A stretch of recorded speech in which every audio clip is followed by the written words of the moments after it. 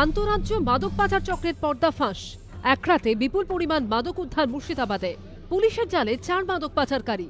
ঘড়িতে তখন সবে সন্ধে ছটা। মুর্শিদাবাদের বহরমপুরের উত্তরপাড়া মোড়ে একটি পণ্যবাহী গাড়ি আটকায় পুলিশ। তল্লাশিতে উদ্ধার হয় প্রায় চারশো আটত্রিশ কেজি গাঁজা। মাদক পাচারের অভিযোগে গাড়ি চালক ভক্তিভূষণ ও আহমেদ শেখকে গ্রেফতার করা হয়।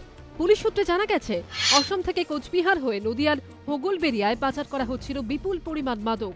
এই অভিযানের ঘণ্টা তিনেক পরেই রাত দশটার সময় মুর্শিদাবাদের সুতির অজগর পাড়ায় চৌত্রিশ নম্বর জাতীয় সড়কে নাকা তল্লাশিতে চল্লিশ কেজি মাদক উদ্ধার হয়। গ্রেফতার করা হয় অসমের কোকরাঝাড়ের বাসিন্দা অর্জুন সূত্রধর ও কালাম শেখকে। গাড়ি থেকে আমরা four hundred thirty eight KG গাঁজা আমরা সিজ করেছি, যেটা বিভিন্ন প্যাকিং করা আছে। এরা লোড করেছিল নিশিগঞ্জ, কুচবিহার থেকে। সাইমালটেনিয়াসলি আমরা একটা ওর গাড়ি ধরেছি, সেটা সুতি থানায় আন্ডার আজগরবাড়া মোড় থেকে। ওদেরকে আমরা ফর্ড করছি রিমান্ড নিচ্ছি।